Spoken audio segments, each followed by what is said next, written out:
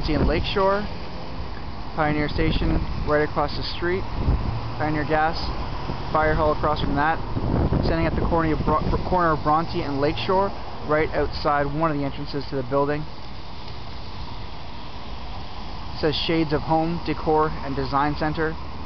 Pier 12 over there. Selly's Latin American Handicrafts, Bronte Village, Baya, Bia.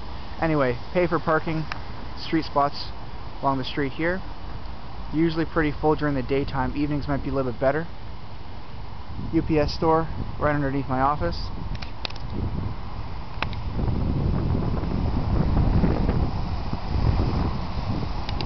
So applicants coming and parking on the street can walk around. A little alleyway here.